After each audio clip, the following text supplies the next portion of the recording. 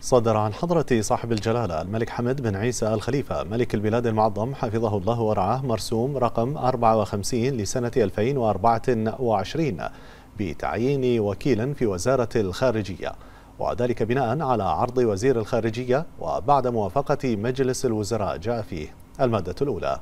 يعين الدكتور عيسى ناصر النعيمي وكيلا لوزارة الخارجية للشؤون القنصلية والإدارية.